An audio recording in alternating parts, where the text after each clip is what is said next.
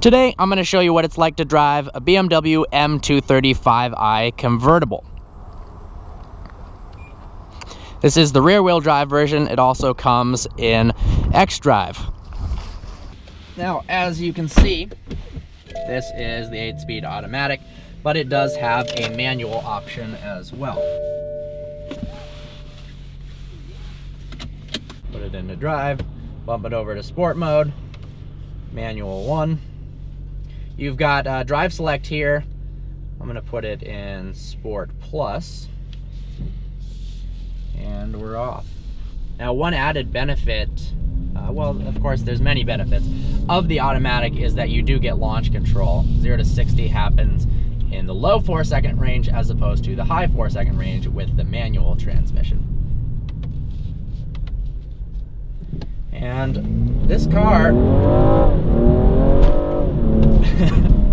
really gets up and goes. I'm impressed with the acceleration. It's 320 horsepower and the convertible weighs 3,900 pounds, so it's not exactly a light car, but the powertrain really is perfect for the vehicle.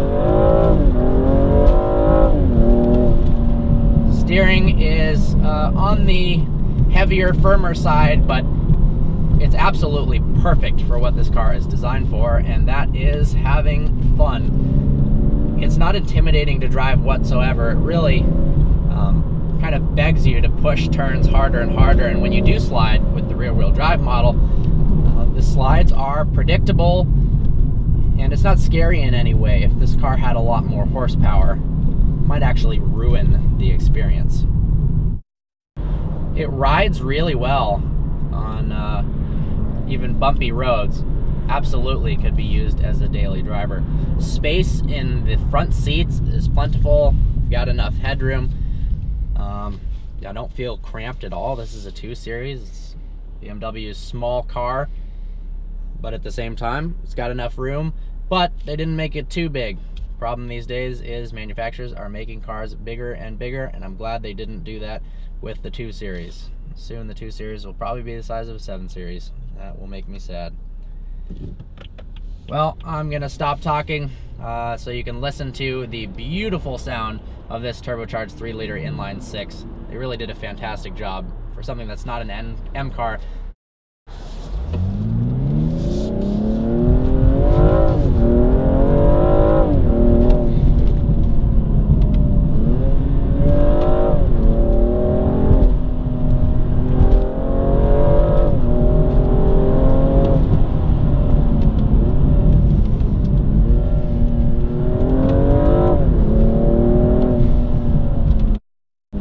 Despite not being a double clutch transmission, it responds very fast. Upshifts and downshifts pretty instantaneously. I love driving this car.